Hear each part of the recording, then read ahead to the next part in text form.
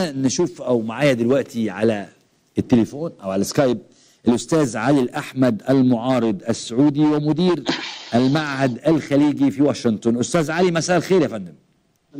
مساء النور أستاذ محمد وتشرفت أني أخيرا تكلمت معك بصورة مباشرة وأكون على برنامج. أنا متابع وشاكر لك الاستضافه أنا شاكر جدا ليك وليه أخيرا يا أستاذ علي؟ إحنا تحت أمرك في أي وقت. يعني أنت تشرفنا أو بنشرف البرنامج بلقاء القاده الفكري زي حضرتك.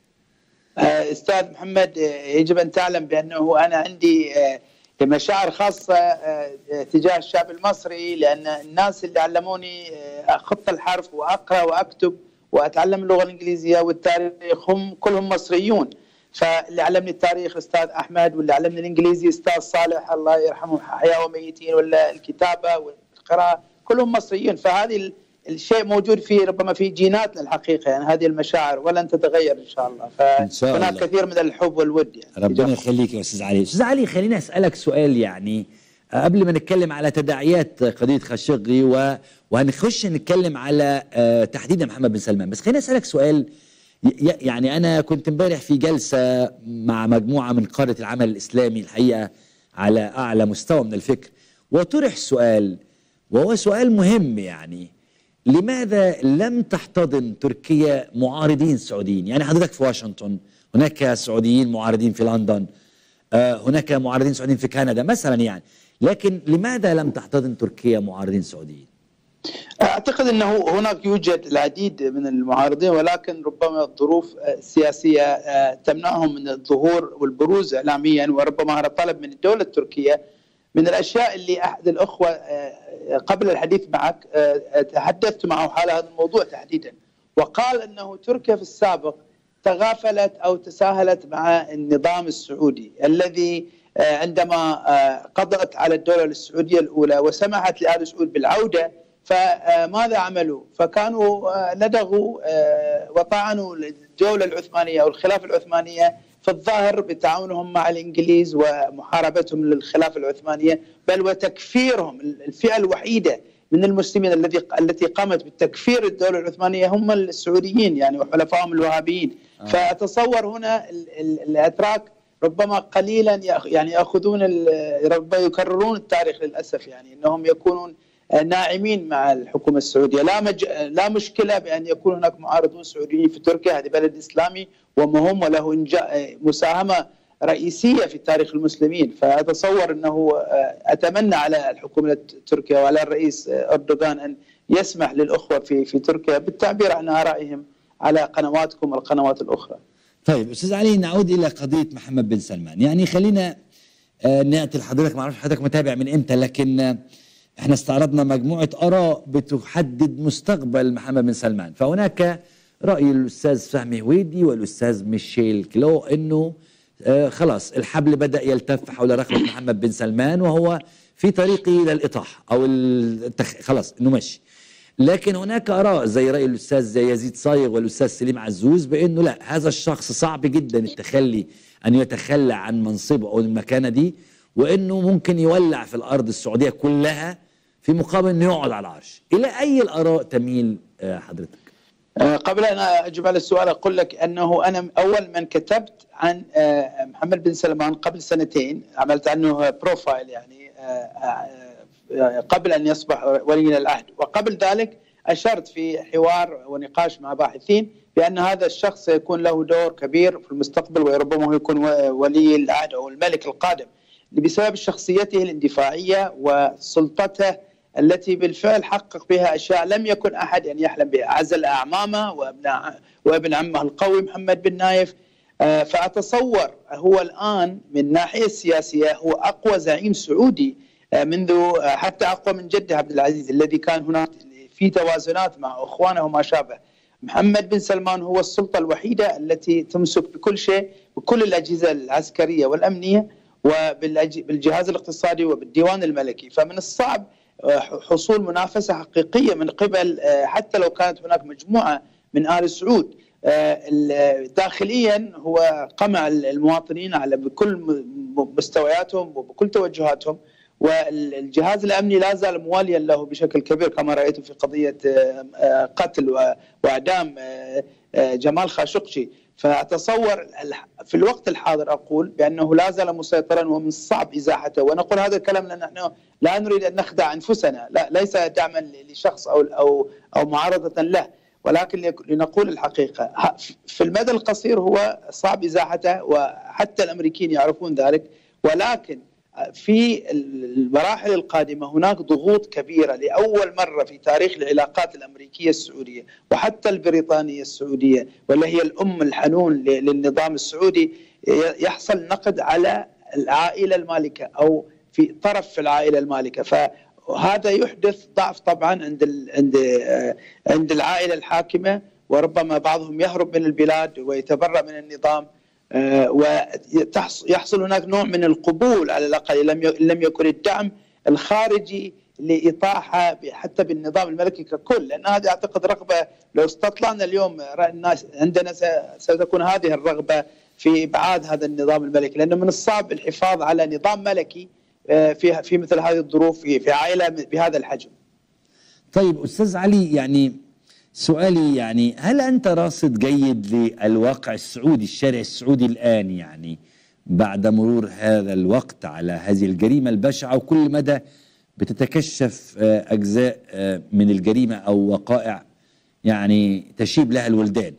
هل هل الشارع السعودي لا زال يمشي في ركاب محمد بن سلمان؟ وأنا أقصد بالشارع هنا الشباب اللي كانوا متحمسين لمحمد بن سلمان عقب أول طلة لي وإعادة السينما وقيادة المرأة السيارة إلى آخره هل الشارع السعودي الآن هو نفسه أم حصل حدث تغير؟ أنا أتصور أنه كان ولا زال آه، بسبب التعمية الإعلامية أنه الناس لا تعرف آه، كثير عن ما يحصل داخل بلادنا وعن مشاعر الناس عندنا. أنا أؤكد لك بأن كثير من الناس لدينا أو غالبية الشعب لا تريد محمد بن سلمان ولا غير محمد بن سلمان. آه. ولكن بسبب وجود الطوق الإعلامي الشديد لا لا يستطيع الإنسان معرفة مشاعر الناس لأنهم يخافون أن يكتب تغريدة ويذهب إلى السجن 15 سنة كما يحدث يوميا. حتى أنت شفتوا الشيخ سلمان العودة لم يصرح بشيء وذهب إلى السجن لأنه لم لأنه صمت. فتتكلم عن نظام قمعي. في الآن إحنا نعيش أسوأ حالات القمع منذ تاريخ منذ إنشاء المملكة العربية السعودية وربما لديكم في مصر شيء مشابه. فنحن نعيش فترة قمع شديدة والخوف يعني منتشر آه، ولكن المشاعر في قلوب الناس حتى قبل أيام كان هناك في طرف وصديق مشترك مع أحد مساعدي محمد بن سلمان وكان مستاء جدا مما يحصل وكان يريد أن يخرج من البلد. وعلى الفكرة آه، اعدام جمال خاشقجي بهذه الصورة البشعة والجاهلية هو كان رسالة آه، آه، لمن هم في القصر لأن جمال خاشقجي خدم في آه، الحكومة فترة طويلة وعندما خرج وانتقد أرادوا إرسال رسالة ليس للمعارضين وليس للشعب وإنما لمن يحرس القصر ولمن يعمل في القصر بأنه أي واحد يتجرأ أو يحلم بأن يكون أو يقلد جمال خاشقجي سنقطعه إربا إربا ولهذا السبب اختاروا طريقة بشعة وشبه علنية في قتل هذا الرجل. طيب أستاذ أحمد أنا قدامي أستاذ علي أنا قدامي مقال دلوقتي للدكتور ياسين اقطاي أنت بتقول إن الرسالة كانت لمن هم في القصر. يعني لا. الغرض من جريمة جمال خاشقجي هي رسالة لمن هم في القصر أو المعارضين السعوديين. يعني إنه شوف ضحينا بجمال أهو مفيش حد كبير علينا عندنا. لكن في رسالة أو في يعني تخمين من الدكتور ياسين اقطاي في مقال لي في جريدة يعني شفق يعني شفق بالعربي هو بيقول إنه وجود واحد زي مصطفى مدني وارتدى كان كل دوره في الجريمة إنه يرتدي زي ملابس آه، آه، خاشقجي ويمشي ويروح السلطان أحمد ويصور إن هو يعني آه، جمال خاشقجي موجود. فهو بيقول بالنص كده إلى أن يتعرض المقال قدام حضرتك. أيوه. هو بيقول بالنص كده المقال قدامنا على الشاشة دلوقتي للدكتور ياسين اقطاي آه بيقول بالظبط كده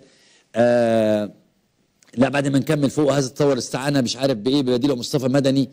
آه يعني كان بيقول ان بص لقد كان الدور الوحيد اللي لعبه مدني ضمن فريق الاغتيال المكون من 15 هو إنه يرتدي ملابس خشقي ويخرج في وقت محدد أمام عدسه الكاميرا المراقبة إلى منطقة السلطان أحمد إلى آخره. هو بيقول ولا ليكون لديكم شك فالدور الذي كان سيقع على عاتق السعودية في سيناريو كهذا في عاقبة مواطنيها المثقفين المشهورين عالميا ومحاسبة تركيا على اختفائهم. ما كان سيكون هناك أي أثر للجثة لكن كان يمكن أن تتوقعوا الرسالة التي كانت ستوصلها واقعة اختفاء مواطن سعودي بحجم خاشقجي واحتمالية أن يكون قد اختطف ولم يعرف عاقبته إلى المثقفين والمستثمرين من مختلف الدول الإسلامية بل حتى المواطنين العاديين إن تركيا بلد مش آمن. هو ده اللي عايز يقول يعني. يعني أهو ويمكنكم أن تكونوا متأكدين من أنهم أعدوا منذ وقت بعيد الرسائل المتعلقة بتركيا بصفتها دولة آمنة من أجل توزيعها بين جحافل المرتزقة الذين يعملون تحت امرتهم في مقابل آه، رواتب شهرية. اذا هل دي فعلا حضرتك بتقول لي الرسالة كانت من آه، قتل جمال خاشقجي هي توصيل رسالة إلى الداخل السعودي أو البيت السعودي. لكن ياسين اقطاي بيقول إن كان من ضمن الرسائل رسالة إلى المستثمرين الإسلاميين والمثقفين الإسلاميين أنه البلد دي غير آمنة. إلى أي مدى تتفق مع الدكتور ياسين اقطاي يا أستاذ علي؟ أنا أقول إنه الحكومة السعودية هذه عقيدتها كما قلت لك سابقا أي أنه- عقيدة أي ع- أنا مش فاهم. عقيدة أنه دو... تركيا كدولة إسلامية ناجحة آه. تشكل قلق طبيعي للنظام السعودي آه. عندما مثلا خلينا نشوف لك قطر حتى الإمارات سابقا عندما تنجح دولة قريبة على السعودية. السعوديين يتضايقوا الحكومة السعودية تتضايق أنه في بلد ناجح. فعندهم حالة من الحسد والقهر عندما يروا دولة ناجحة. فيحاربوا قطر. حتى الإمارات حاربوها سابقا. وتركيا عندما تكون دولة ناجحة اقتصاد ونظام يعني يعتز بإسلامه. وأيضا هو نظام يعني مفتوح ما فيه يعني حريات شخصية على الأقل. ف وناجح اقتصاديا. عندما يروا هذا النظام وبغض النظر عن عن التوجه الديني لهذا النظام عندما رأوا يا أخي أنا كتبت هذا المقال قبل أن يحصل انقلاب في مصر عندما رأوا الرئيس محمد مرسي فرج الله عنه ابن فلاح ينتخبه غالبية المصريون وهو رجل يصلي ويعني ويشكل رمز لكثير من الشباب عندنا في في بلدنا. صار قلق أنه هذا الرمز أيقونة لكي لا يقلد الناس عندنا يقول أنا أريد اصير أصبح كمثل مرسي ينتخبون الناس وأصير رئيس دولتي. في تركيا أيضا المثل أو النموذج لا يريدون هذا النموذج يكون ناجح اقتصاديا وناجح سياسيا لكي لا يفكر الشاب ابن الرياض وابن القصيم وابن نجران والمدينة يقول أنا أريد أيضا أصبح مثل رجب طيب أردوغان، لماذا لا أكون أنا رجب طيب أردوغان؟ فحرب على تركيا وعلى كل الدول الإسلامية التي تريد أن تنجح هذا شيء عقيدة سعودية مستمرة منذ تأسيس هذه الدولة ولهذا السبب الجرائم المستمرة كما قلت لأخوانك في البرنامج هناك يعني تاريخ حافل بالجرائم التي ارتكبوها آل سعود تجاه المسلمين والعرب وتاريخ الإسلام وحتى يعني هم الوحيدين اللي سرقوا غرفة أو حجر النبويه ف أيوه إيه بقى, إيه بقى قصة الغرفة النبوية؟ إيه قصة إن آل سعود؟ في عام 1804 قام المدعو سعود بن عبد العزيز بن محمد بن سعود. يعني المؤسس الدولة السعودية هو محمد وهذا مهم جدا لأنه مرتبط بتاريخ تركيا وتاريخ مصر، إحنا نعرف إن محمد علي باشا أرسل ابنه إبراهيم باشا للهجوم على الدرعية، الناس كثير من الناس لا يعرفون السبب لأنه آل سعود كانوا يقتلون الحجاج ويسرقون الحجاج ففي عام 1804 هجم عبد العزيز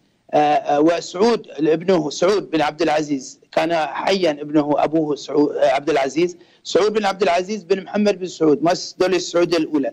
هجم على المدينة ومكة وسرق سرق يعني شوف في مسلم يسرق ويعتدي على قبر النبي ويسرق ومن الأشياء اللي سرقها موجودة عندك في إسطنبول. لا لحظة لحظة, في لحظة يعني, في يعني لحظة يا أستاذ علي.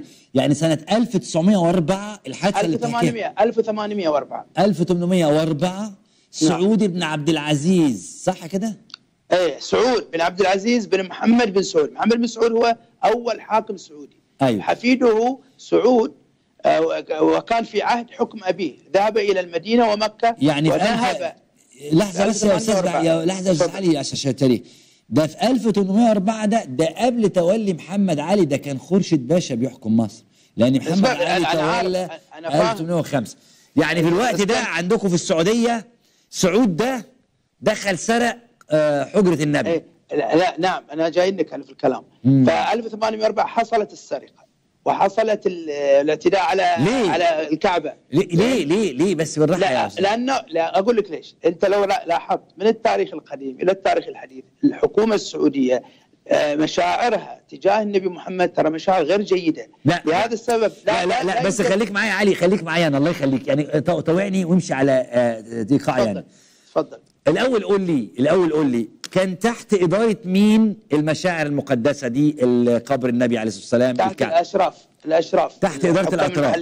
يعني الاتراك نعم. يعني الشريف اللي بيدير ال- ال- الكعبة والمدينة كان بيتبع أو م- منصب من قبل صح. الأتراك. نعم. كويس قوي في الوقت ده بقى الجماعة دول آل سعود كانوا بيعملوا إيه؟ بيشتغلوا إيه؟ ك- كانوا في لما أسس محمد بن سعود آه، الدولة السعودية فكانوا يهجموا يعملوا غزوات عملوا على العراق غزوة مثلا. عندما هجموا على كربلاء وبعدين هجموا على مكة والمدينة لأنه كانوا يهجموا على الحجاج اللي يجوا من الهند ويجوا من ال- من إيران حرامية يعني؟ حرامية كانوا لصوص لصوص. أنت أقرأ التاريخ وهذا الكلام لا ال سعود دول كانوا حرامية؟ يا راجل بس اسمعني بس. لا قطاع طرق قطاع طرق. لا والله العظيم. إي والله أنا أقول لك يا أخي أنا أبغاك تأخذ من وقتك وفي كتاب اكتب اسمه أستاذ محمد عشان. تعرف إنه هذا ليس اكتب اسمه يعني. قول اسمه عنوان المجد في تاريخ نجد لابن بشر النجدي وهو مؤرخ محمد بن عبد الوهاب وهو كان معاصر ويك وشوف الجرائم اللي لا في يعني يعني المسلمين. ابن بشر اسمه إيه المؤلف اسمه إيه المؤلف ابن بشر النجدي ابن بشر النجد ده وكتاب فيه أيضا قسم ثاني لشخص يسموه ابن غنام وهو كتاب يعني. كتابين مدموجين في يا حاج كتاب واحد. علي. تاريخ؟ نعم. يا حاج علي. يعني نعم. ابن بشر ده كان موالي ل- لآل سعود؟ وهابي نعم وهابي. لا موالي لآل سعود؟ نعم. ما كانش متضايق منهم ولا كارههم ابدا ابدا. هو حلو. مؤرخ دولتهم و... ويقول وقتل وغزا المسلمون الرياض. شوف وغزا المسلمون الرياض وقتلوا 11 من المشركين. تصور. آه بس في الكتاب ده عنوان المجد في تاريخ في كل التفاصيل. بيقول فيه إنهم سرقوا الكعبة أو المشهى أو الم... ما... لا يقول وغزا منه اللي في كتب أنا أرسل لك روابطها كتبوها مسلمين وأيضا أوروبيين لاحقا. طيب. يذكروا هذا الموضوع بالتفصيل. حلو. فانت موجود في إسطنبول أبغاك تروح إلى طوب قباي اللي هو المتحف. رحتوا وفي- هناك جوهرة اسمها الكوكب الدري. اكتبها.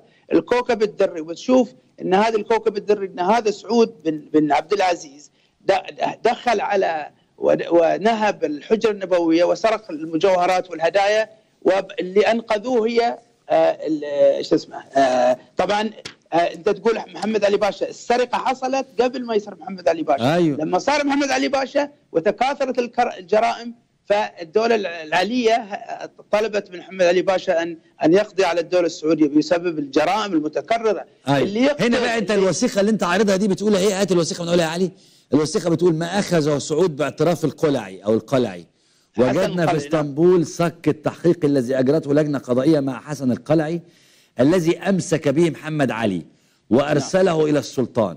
فإذا فيه أن ما أخذه سعود من نفائس الحجرة هو حجره نبوية.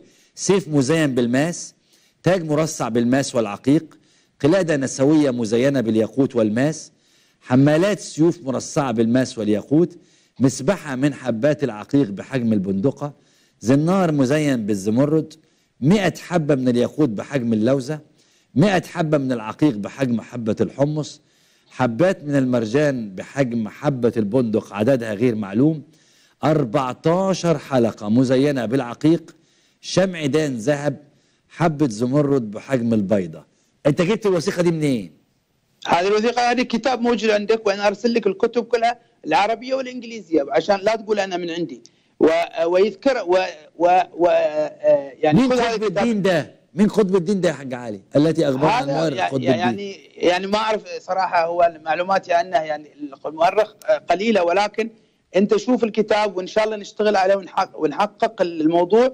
وأنا عندي كتاب كتبه آه، مؤرخ آه، آه، آه، من من النمسا نمساوي اسمه لويس موسيل. وهذا لويس موسيل كان معاصر يعني وأيضا كتب عن الموضوع بحكم إنه مستشرق. ويتكلم اللغة العربية ووثق هذه الحادثة بال- بال- باللغة ال- باللغة النمساوية أو الألمانية. فموجود أنا أرسل لك إن شاء الله الكتب لا لا يا ريت يا ريت ترسلها لي يا أستاذ علي لأن أنا أنا طبعا يعني آه مش في معرض إن أنا أحقد على آل سعود وأقول عليهم حرامية. إن لم يثبت هذا الكلام بالوثائق فأنا طبعا لا أنا انا فأنا لا, أنا لا, لا تأخذ لا تأخذ كلامي. خذ كلام بن بشر النجدي اللي هو مؤرخهم. وكتب آخرين معاصرين هم أكدوا هذا الخبر والسعوديين يعترفون انت طيب. وانت روح اسال الأتراك في المتحف طيب. عن الكوكب الدري ومن سرقه ولماذا طيب. رمى وأنا وأنا أوعدك يا أستاذ اعدموه في اعدموه سعود في في إسطنبول وهو أحضر ال ال ال لما مسكوه في الدرعية جاب الكوكب الدري وأعدموه ورجعت إلى خلاص وأنا أوعدك يا أستاذ علي إن أنا أعمل بحث عن القصة دي لكن سؤالي الأخير لحضرتك ما هو توقعك لهذه القضية وما آلتها؟ والله يعتمد عزيزي آه، آه، الموضوع هو بيد الأمريكيين والأتراك. إذا أرادوا الأمريكيين أن يصعدوا مع محمد بن سلمان سيصعدوا هو محمد بن سلمان ربما فتح الباب على نفسه. عندما أعطى ترامب من قبل حتى قبل أن يطلب كل هذا الأموال 450 مليار حسب ما كلام ترامب فشافوا أنه هذا شخص يمكن استغلاله فقالوا نضغط عليه. هذا من دون ضغط دفع لنا 450 مليار دولار. فكيف لو ضغطنا عليه؟ ربما يدفع أكثر. فربما هو ما يحصل الآن هو ابتزاز محمد بن سلمان وسيبقونه لأنه صار مطية سهلة للأمريكيين ولغيرهم ليبتزوه ليسلم ثروات البلد لهم. وأنا أنا أحيي الرئيس أردوغان لأنه هو لولا إصراره ولولا إدارته للموضوع ما سمعنا ولا عرفنا ولا طمست هذه الجريمة. وهذه الجريمة مقارنة بما فعله السعوديون ربما لا تشكل شيء ولكن هي وضحت لنا كلنا للذين لا يعلمون عن طبيعة هذا النظام لأن هذا في جينات النظام السعودي. كل حال. فانا أتمنى يعني تسمع في المستقبل لاستعراض ذلك وأنا أوفر على كل حال وأنا وأنا وأنا إن شاء الله نستضيفك بعد كده في التعليق على ده الاستاذ علي أحمد المعارض السعودي ومدير معهد الخليجي في واشنطن. بشكر حضرتك جدا وشرفتنا يا فندم. شكرا. شرفتني شكرا جزيلا.